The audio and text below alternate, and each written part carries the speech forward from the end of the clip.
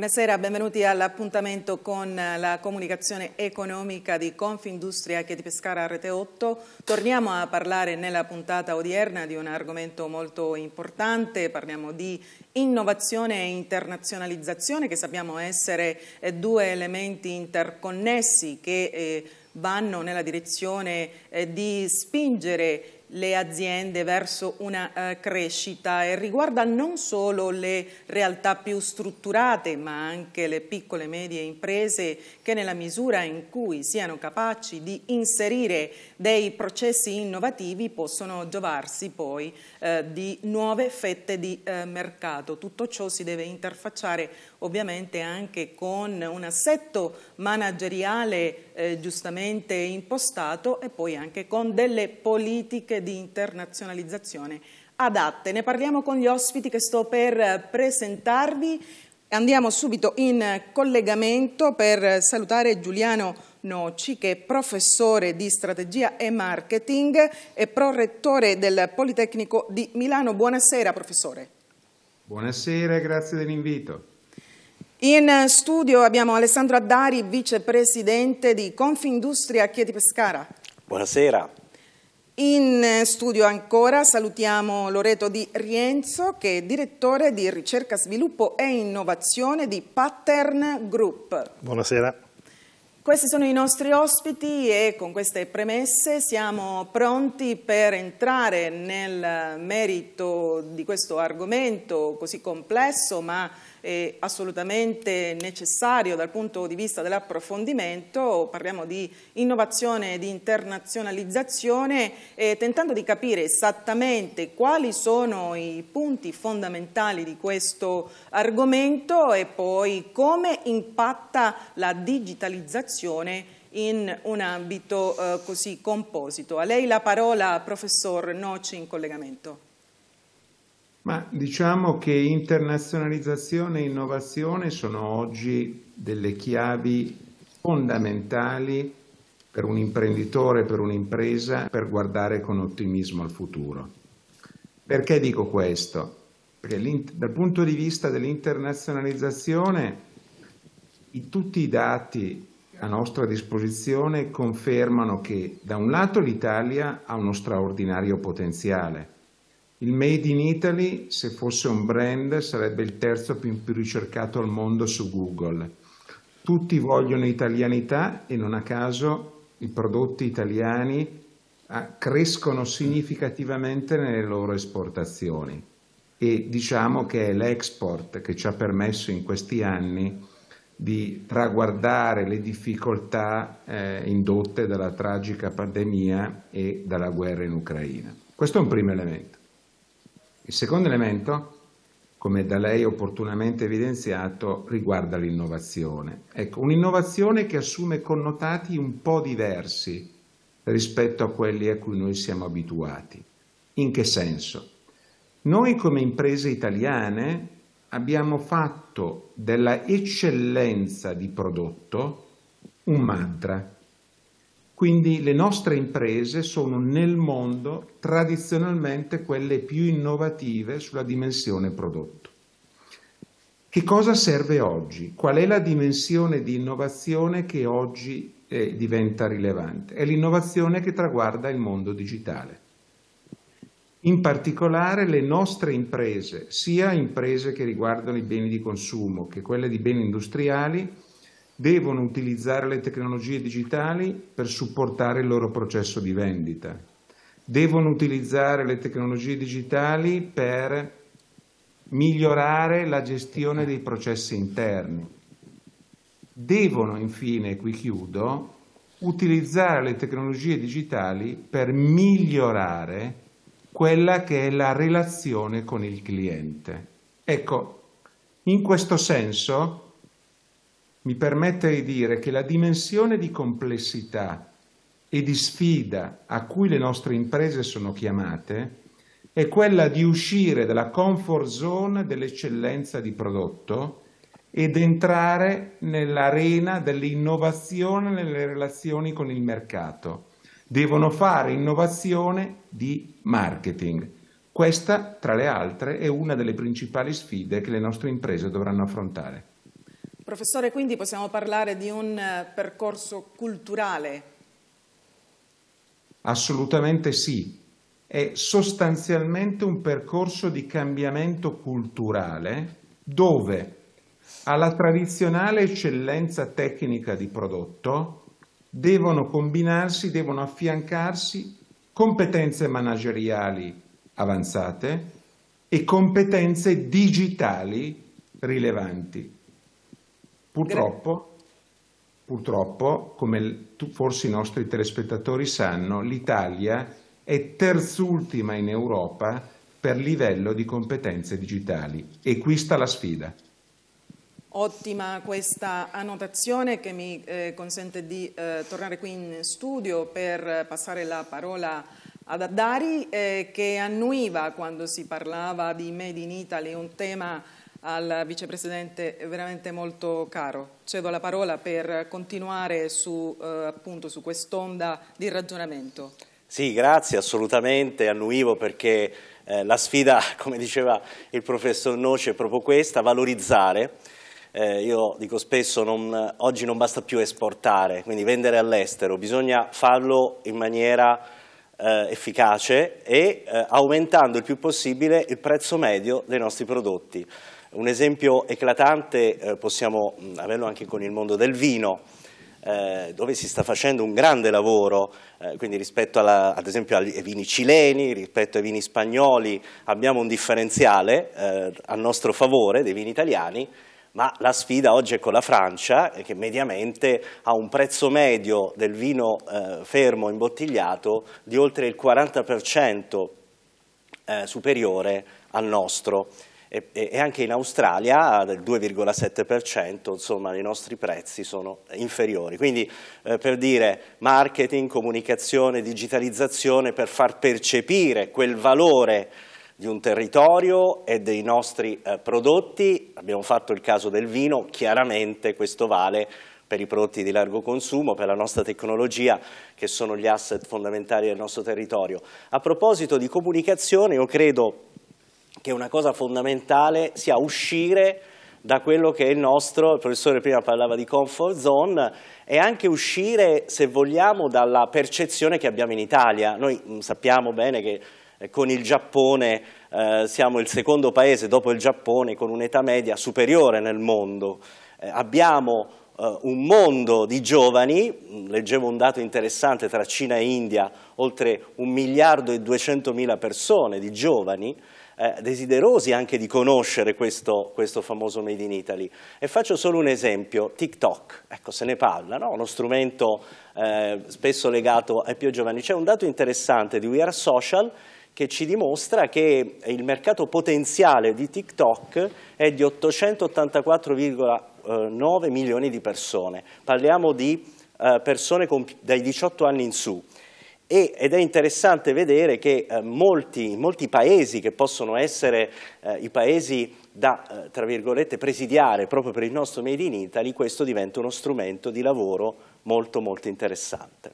Decisamente un settore che applica eh, in maniera consistente un po' tutti questi elementi di cui abbiamo parlato prima, il settore eh, della moda di cui è esponente eh, Di Rienzo al quale cediamo adesso eh, la parola, leggo testualmente che da oltre 30 eh, anni ehm, si occupa appunto di un'azienda che da oltre 30 anni offre servizi innovativi eh, per la moda, l'arte e il design e quindi la ricerca, l'innovazione sono fortemente inseriti e innestati in questi tessuti. Qual è il vostro approccio, qual è il vostro rapporto, che cosa ci può raccontare in merito? Sì, grazie. Sicuramente da sempre eh, la nostra propensione è stata quella di andare verso l'innovazione, prodotti sempre più innovativi legati al mondo tecnologico. Come giustamente diceva prima il professore, eh, in questo momento siamo proprio in una fase di cambiamento storico dove gli approcci anche ai, ai mestieri che in qualche modo potevano essere identificati come mestieri artigianali o classici eh, stanno sempre di più andando in una direzione tecnologica, in una direzione in cui eh, la digitalizzazione sta facendo il suo, il suo ruolo. Noi lavoriamo nel, nella moda, quindi un settore eh, ad alto contenuto manifatturiero, anche questa è un'eccellenza. Eh, diciamo che però eh, non è soltanto importante riuscire a realizzare bene dei prodotti, ma è importante in questo momento storico avere proprio un cambio culturale perché la ricerca e lo sviluppo, così come per esempio noi lo abbiamo interpretato negli anni e per questo abbiamo anche creato su Milano un laboratorio eh, di ricerca, va fatta in sinergia, per cui io inserirei questo elemento fondamentale, la sinergia. La sinergia significa l'interazione tra conoscenze, know-how e tecnologie o materiali diversi, perché in questo modo si, ottenere, si, riescono ad ottenere dei risultati e dei prodotti che diversamente la singola azienda non potrà mai eh, riuscire a creare, sia per una questione di know-how, sia per una questione anche di competenze, perché altro elemento importante sono proprio le competenze manageriali che il piccolo imprenditore non ha, ma che deve aprire la propria mente per inserire all'interno della propria azienda delle figure diverse, dei ruoli diversi, dove io posso semplicemente dire il modellista, il nuovo modellista eh, digitale, il nuovo prototipista digitale, questo per far sì che eh, si sfrutti veramente quello che è il mondo che è stato il, diciamo, il brand del Made in Italy, ma verso funzioni e valori che sono ancora diversi rispetto a quelli che noi abbiamo fino ad oggi in qualche modo percorso. Quindi eh, da una parte c'è eh, questo ricorso, eh, diciamo così, alla innovazione con il supporto della tecnologia che in un settore come quello della moda è assolutamente eh, necessario e indispensabile, però dall'altra parte c'è anche un'attenzione nel vostro settore a quelle che sono le nuove occupazioni, le nuove figure, perché è cambiato molto il settore della moda eh, immagino voi avrete visto una evoluzione, qual è stata? Sì, l'evoluzione è quella che in effetti ci sono proprio dei mestieri dei quali in qualche modo c'è stato anche un salto generazionale per cui non si sono eh, ricreate figure professionali di un certo tipo, ma successivamente alla pandemia eh, c'è stata una forte accelerazione nella direzione della, eh, dei prodotti sostenibili che eh, prevedono l'utilizzo di sistemi, di tecnologie diversi. Quindi il classico ruolo, il classico, noi stiamo facendo adesso un'attività di academy sul territorio, dove in qualche modo alle, alle nuove cucitrici stiamo dando del know-how e del valore che prima era in qualche modo impensabile. Certo, quindi i vecchi mestieri che vivono... Il vecchio una... mestiere è fondamentale, è fondamentale avere il know-how, è fondamentale avere la conoscenza e sapere l'origine di un lavoro, l'origine di una tecnica di lavorazione, però sfruttare appieno tutte le, le tecnologie che oggi ci permettono di ottenere o facendo meglio quello che prima si faceva o addirittura in moltissimi casi, come per quanto ci riguarda, ottenere nuovi prodotti che in qualche modo non sono presenti sul mercato. Grazie per questo contributo. Eh, vado dal professore in collegamento che ha una visione anche molto estesa di quello che significano le dinamiche nuove a livello internazionale, soprattutto eh, verso un mercato che mh, detta legge sotto tanti punti di vista. Eh, professore, lei è prorettore del polo territoriale cinese per il Politecnico eh, di Milano, leggo. Quindi eh, ci fa un focus eh, sulla Cina? Guardi, la Cina è il più importante mercato al mondo per numerose categorie merceologiche. Poco fa si parlava di eh, fashion e lusso. Bene, più di un terzo del fatturato mondiale delle imprese del lusso deriva da acquisti di cinesi. Questo per far capire, ad esempio, che senza la Cina le imprese del, del, del lusso non starebbero in piedi. Se pensiamo ad aziende note nel mondo come Apple, Apple eh, eh ottiene 25 30% dei suoi profitti dal mercato cinese. Aziende come gruppi noti a tutti come Volkswagen o Mercedes del mondo automotive ottengono circa il 50% dei loro profitti dal mercato cinese. Questo per dire che cosa? Che negli anni, in questa crescita tumultuosa di quel paese, la domanda che si è andata sviluppando è una domanda che rende imprescindibile una presenza in termini di export o di produzione locale per il mercato locale da parte di molte imprese. In questo momento è in voga una prospettiva che è la prospettiva del cosiddetto disaccoppiamento, una prospettiva che ha un rilievo da un punto di vista politico, ma che è puramente astratta. È puramente astratta per quello che le dicevo prima. Ma se andiamo a valutare numeri che riguardano l'Italia, noi sostanzialmente in questi ultimi tre anni, quindi in un quadro comunque di Cina in lockdown da Covid e mercati in cui comunque tutt'altro che pienamente operativi, L'export, l'interscambio commerciale, ma direi l'export ci interessa, italiano verso la Cina è cresciuto di circa 20% anno su anno negli ultimi due anni. A dire che cosa? Come diceva il vicepresidente Addario, c'è in Cina, ma in realtà nel mondo e in Asia, una straordinaria voglia di Made in Italy. Un Made in Italy che è sinonimo di qualità, creatività, stile di vita, un made in Italy che è molto più apprezzato all'estero rispetto alla valutazione che gli italiani danno del proprio prodotto. Su questo noi dobbiamo essere consapevoli per fare quello che il Presidente Dario diceva, cioè avere consapevolezza che in Cina, ma più in generale all'estero, le imprese italiane devono essere molto attente sul loro posizionamento di prezzo e di mercato. Esiste una sola opzione, che è quella dell'alto di gamma e di prezzi elevati, perché quando un consumatore o un'impresa internazionale chiama Italia si aspetta qualità, non cerca certamente costo. Professore, lei prima parlava di disaccoppiamento, ci vuole un attimo eh, dire qualcosa di più rispetto a questo concetto?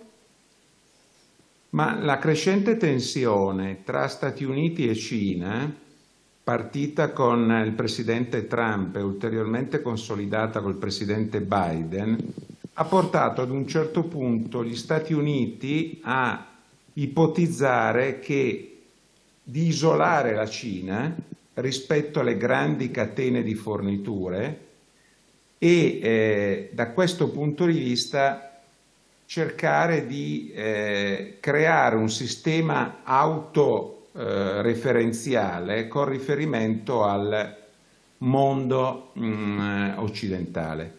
È evidente che alla luce dei dati che io, le, eh, che io ponevo alla vostra attenzione poco fa, questo tipo di presupposto è del tutto astratto e in effetti se noi as eh, ascoltiamo le dichiarazioni del, eh, del, segretario del tesoro americano Janet Yellen, eh, se as ascoltiamo le recentissime dichiarazioni del segretario di Stato Blinken, il tema è cambiato, non c'è più un obiettivo di disaccoppiamento, ma c'è un obiettivo di de-risking, cioè di abbassamento del rischio.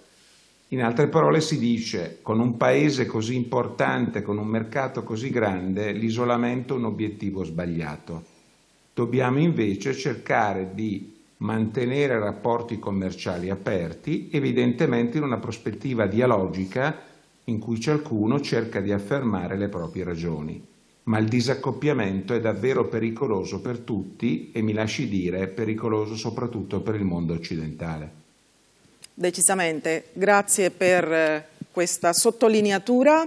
Eh, veniamo qui in studio nuovamente per parlare con il vicepresidente Addari e capire eh, tutte queste tematiche che abbiamo fino adesso affrontato come si traducono in un eh, contesto eh, regionale? Qual è lo stato attuale della internazionalizzazione, Vicepresidente Addari, per le aziende abruzzesi e che cosa fa eh, Confindustria per accompagnare appunto le aziende in questo processo che è così delicato? Sì, abbiamo una forte concentrazione, come sappiamo, dell'export sui mezzi di trasporto, il 35%, quindi chiaramente occorre consolidare questo risultato, al tempo stesso dobbiamo liberare energie, dobbiamo posizionare, come dicevamo prima, eh, altre categorie di prodotto il più possibile sui mercati esteri. Al secondo posto troviamo la farmaceutica, un altro settore fondamentale, più o meno pesa il 9%, alimentari e bevande un altro, al terzo posto, diciamo un altro 9%, e poi via via altri settori, sicuramente la meccanica. Ecco, questo dislivello eh, va in qualche modo colmato, quindi incentivando, facendo in modo che a livello settoriale la nostra regione possa sicuramente essere più coerente con uno sviluppo. Eh, poi lo dicevamo prima, corretto posizionamento, innovazione, io direi, ecco, ad esempio la blockchain, ne abbiamo parlato in questo programma come uno degli elementi che potrebbe ehm, eh, diciamo, ridurre no, quello che è il peso dell'Italian sounding eh, in giro per il mondo e rafforzare e far comprendere il valore del vero Made in Italy, dalla fase di, di materia prima fino alla logistica, quindi in tutta, in tutta la filiera, l'e-commerce, un altro tema, eh, quindi anche nella nostra regione dobbiamo capire dove sta andando il mondo e ripeto, non dobbiamo farlo vedendo i dati italiani perché in genere, per quanto interessanti, sono molto diversi da quelli che poi leggiamo sullo scenario internazionale, perché proprio in alcuni mercati dove siamo poco presenti eh, faccio un esempio, insomma, vedo dei dati a Thailandia, Malesia, Corea del Sud e via dicendo, il peso dell'e-commerce, pensiamo a quello dei, verso i consumatori finali, è molto più rilevante rispetto a quello italiano. Italia 47,6% di persone, di utenti internet che acquistano qualcosa online ogni settimana, in Thailandia il 68,3% in Cina che è al quinto posto 64,4%. Quindi questo per dire dobbiamo capire anche come dialogare non solo con l'importatore tradizionale, i distributori, ma integrando in un'ottica un omnicanale, omnichannel, la capacità di raggiungere il consumatore che può apprezzare i nostri prodotti ovunque sia.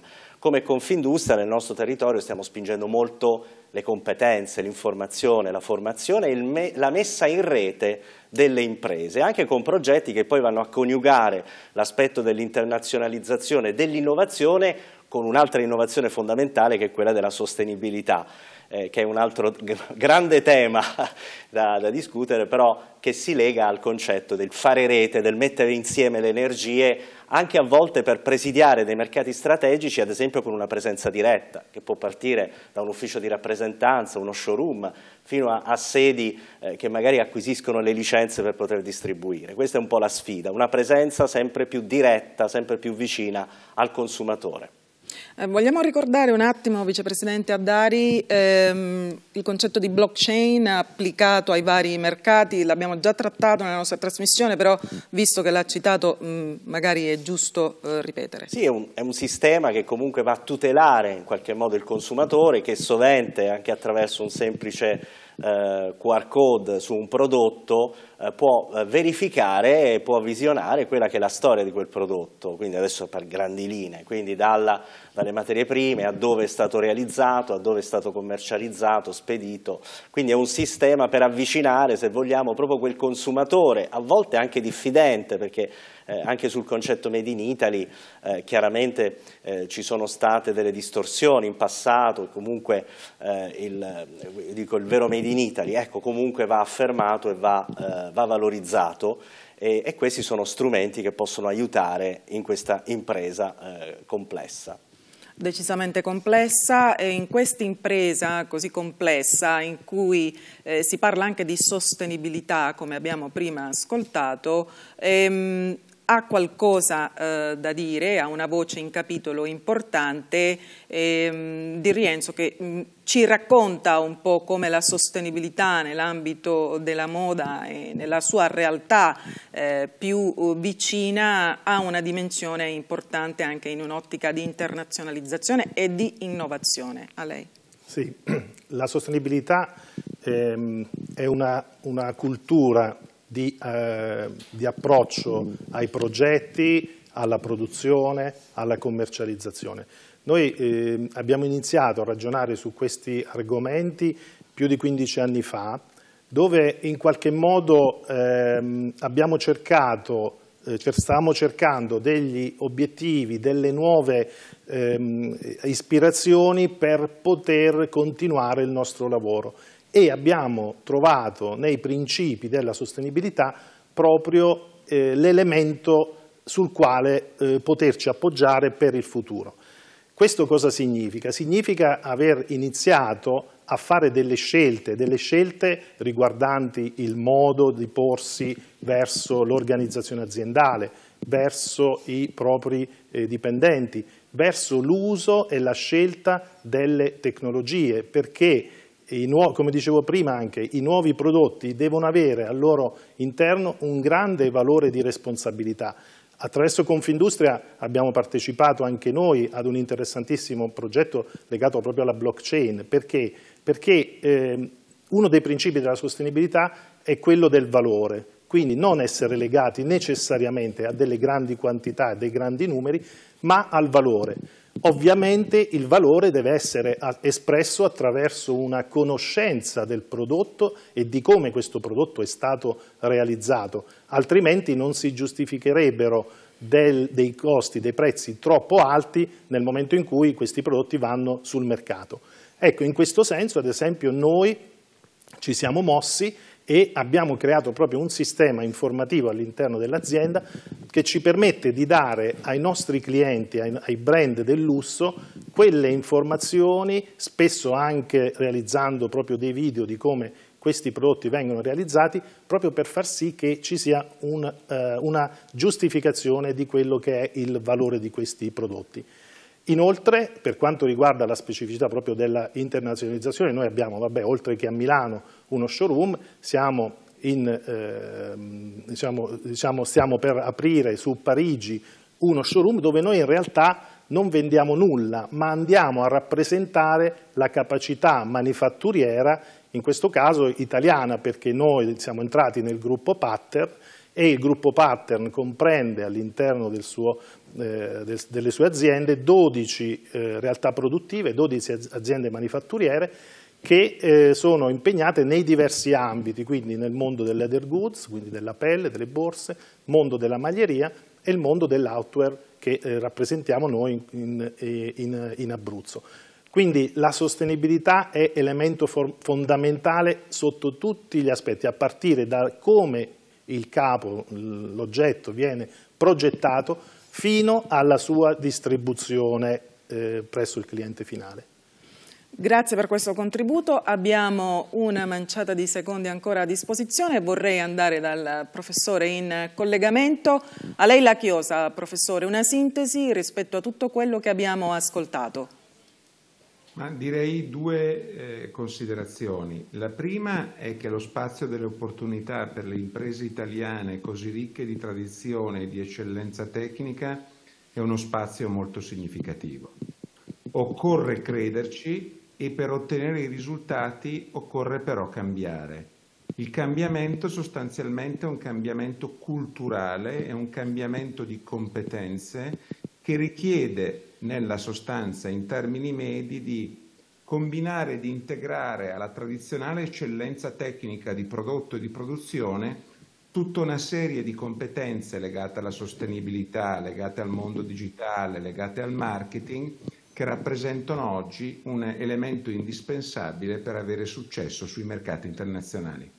Ottima conclusione professore, approfitto per ringraziarla per l'intervento e per il prezioso contributo. Buonasera. Buonasera a tutti voi. In studio ringrazio eh, per gli interventi e per la presenza Alessandro Addari. Buonasera, grazie. E Loreto Di Rienzo. Buonasera, grazie a tutti. Per quanto concerne la parte tecnica, i ringraziamenti vanno alla regia di Danilo Cinquino e per le riprese ad Alberto Capo. Ringrazio tutti voi telespettatori per averci seguito. Appuntamento alla prossima settimana.